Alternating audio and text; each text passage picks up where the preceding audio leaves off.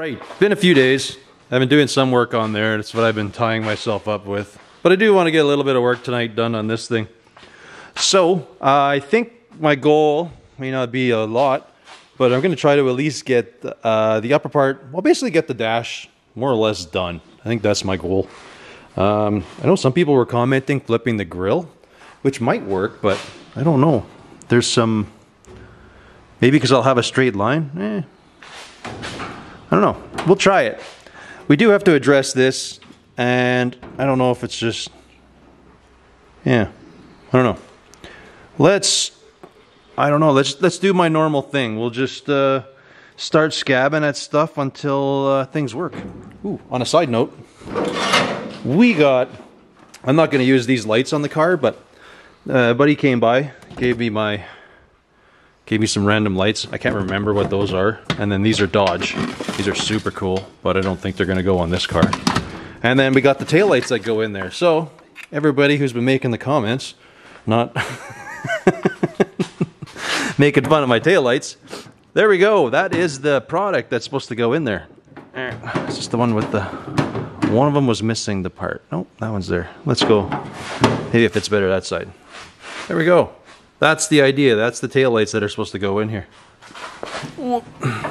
So, not gonna leave them in there. I mean, they are plastic. I don't think they're glass, but we don't need those hitting the ground. So we'll set this stuff off to the side and uh, proceed. Oops. Proceed with monkeying around with the dash. Uh, some people were asking about, will that clear the trim panels? Yes, it will. There's actually a lot of room. I can almost get my hand in there. So, because I wanted to keep it up to the, the inner edge of this car. That's where I was struggling a little bit. I want this edge just to line up to the original edge on the car. Uh, whether the dash will come out or not, I don't know yet. That's going to be questionable. It might be welded as a permanent fixture, which is fine as long as I can get in here and be able to pull the cluster.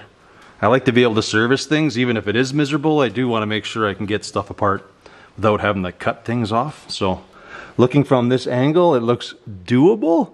It depends on where the screws are that hold the backing because this thing should should be able to fit out the back there. Uh, anyways, I guess uh, I guess I'm gonna get started.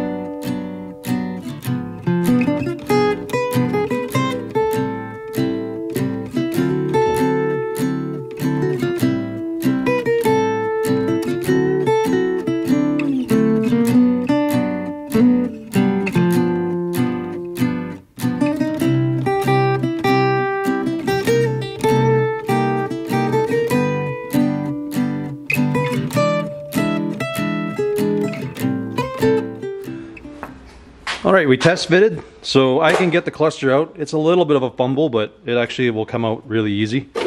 Uh, I basically just decided what I'm gonna do is I had the half inch rod, so I was kind of banging it, getting it into shape, because that would give us the option if we wanted to bolt it in, kind of thing. So it'll do that and it'll give us a good starting point that we can kind of try to make everything work off of. So I think right now what the plan is going to be is I'm going to reset the dash back in because I was hanging it over these speakers, speaker bolts. So we'll, we'll kind of do that, give it a loosey-goosey tack, and then we'll, uh, I can see what I can cut off and what we can play with from there. I just have a feeling, just because these lines are all wonky, um, I'm just going to kind of do a blind, well, we'll leave this edge. We'll probably get rid of this. I think if I just cut uh, maybe I'll leave it just to leave some strength.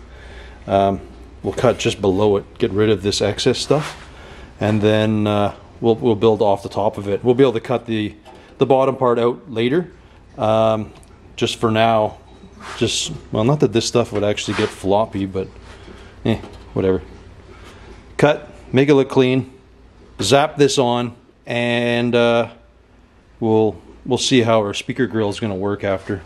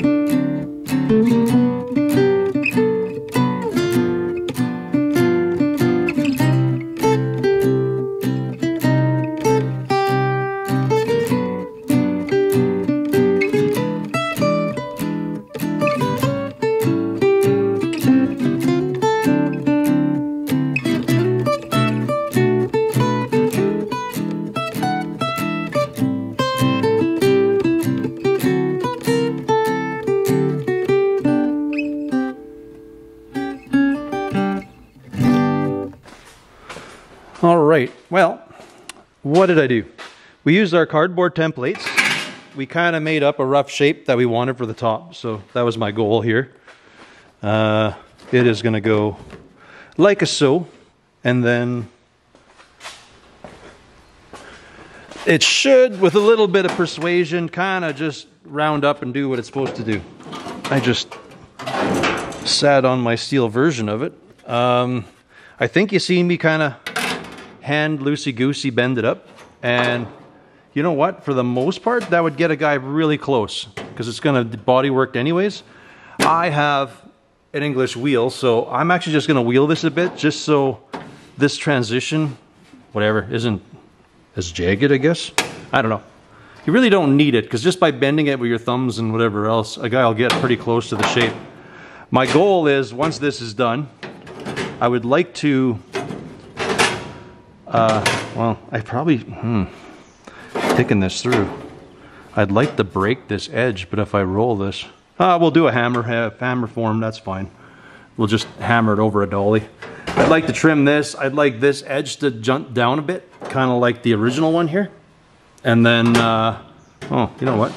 Well, there's not enough of it, but yada yada. This side I want to fold down so it's flush with the inside of this. And then we can kind of smash it to match the edge of the dash. Anyways, what I'm gonna do is find a die that's eh, almost got no crown to it. I don't want like this die, it's pretty flat. But, oh, it's so humid in here. I'm gonna guess this die. Sorta. We'll have to clean it up a bit, a little rusty. Anyway, okay. Anyways, I'm gonna switch these out. We're gonna uh, roll this thing through there for a little bit and uh, we'll see if we make it better or worse. I can't say I really am good at what I'm doing here. Holy, are these rusty. We got some definite moisture problems in the shop here. I don't know which one I want. We don't need a lot. Yeah, whatever. Anyways, let's just, let's set her up, wheel it through a little bit. We'll see if we, if they feels nice, because then from there we'll be able to tack it to both pieces. Well, we'll trim it, tack it, and then like this thing will be kind of removable, not removable. I don't know if I want it to come off. I don't know if I care. I think once it's in, it's in. I'm kind of happy with it. Anyways, let's uh, wheel these two pieces and see how, uh, see this one's got a bit of a crown to her. Although that could be perfectly flat and it'd be okay-ish. All right. Well.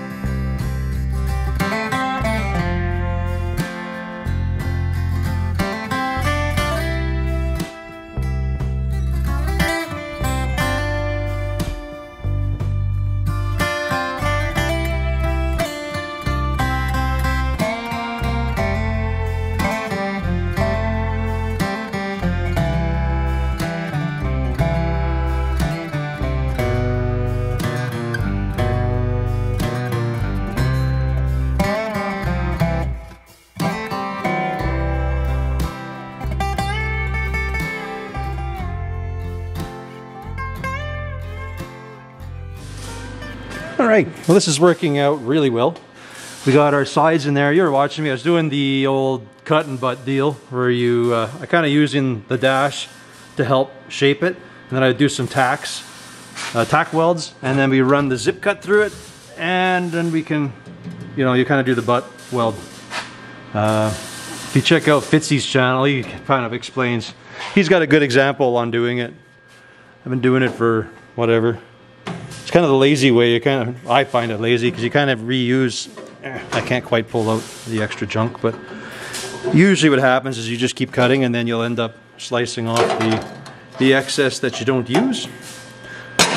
Anyways, that's done. We got these all done. I only have it spot welded because, well, the kid's using my smaller welder, so I usually weld this with 2-3 on the 110 welder. Uh, my 220 welder has uh, 3.5 wire in it, which it works, but it produces a lot of heat so I'll just kind of roughly tack stuff in and then I'm going to weld it up later. So where we're at right now is we got this. This actually looks all good. So we have it tacked to this bar. So whatever, our, our, our, our windshield's raised up a little bit. We'll have to add a few fillers, but there are garnish moldings that would cover this. I was able to get this side a little better, but eh, no big deal. You can just weld in a little piece if a filler wants to. Um, I'm not too happy with the shape going on here, but I can at least take the dash off now because overall everything's actually in the right shape. And we can start working on the speaker grill. I loosely played with it a little bit, you seen? So what I did is I cut the peak off of it, or the, the indentation kind of thing. So thinking I'm gonna do is I'm gonna leave this, and we're just gonna, I don't know if I'm gonna make this come off. So, uh, like looking at it now, uh, I don't know if I'll weld it in or not.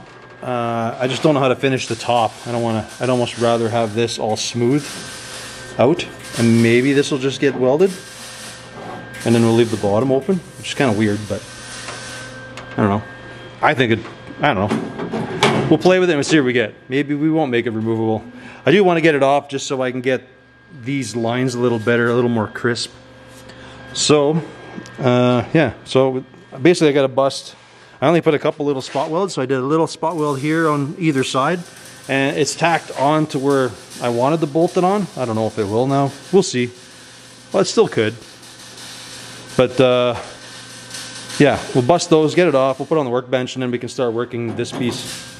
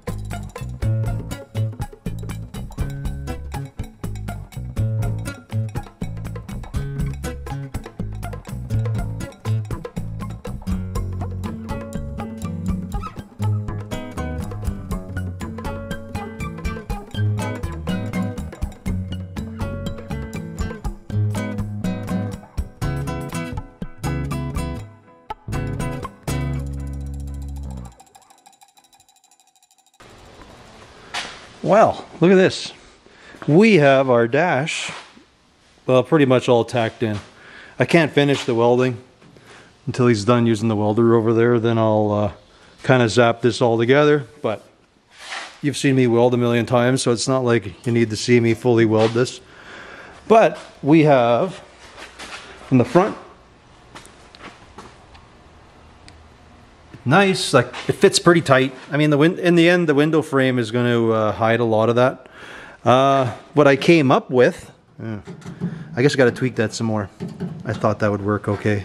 I put a button in the middle. I'm going to do it on the sides. But anyways it's not 100% right now but i'll fix that up. The uh, what i did is i just made a filler piece up here and then we were able to keep the peak of the the radio or the speaker screen. So I think that looks nice and clean. Looks good. I don't know. I'm happy with it. So we got there. We got the sides done. We don't have any way to fasten the dash in yet. It's just basically uh, mocked up for now, which is fine. I don't know if I'll fully get around to welding it today. I still got to plug away at that thing some more. But yeah, See, we got both sides. They're going to go in. We'll have to add some bracing underneath here yet because I do want to hang the steering column off of it. So we cut some of those, like that brace that goes across, like multiple times. So we'll have to beef that up a little bit and then uh, we can come back and like attach, either bolt it. Well, there's a bolt down here, so we can probably bolt it on either side as it's supposed to be. I uh, test fitted the new cluster and uh, yeah, you can get it in, no problem. I mean, if you got the light switch or the headlight, or the uh, key or something, you'll have to take that out. But other than that, it actually works okay. All right. Well, that leaves us here. I got to still finish welding this all up. I'll do that one a little later when the kid's finished with the welding or, or the welder over there. But uh, I guess, uh, well, we got some progress, some update here. I still got to do some more plugging away at that thing. So I'm going to finish up on there and then we'll kind of jump back on this thing farting around. Um, sounds like Trevor will probably be starting on his Essex again, so we'll see some more updates happening with that thing coming. Um, but yeah, I uh, want to thank you folks for watching, and uh, we'll catch you on the next one. Later.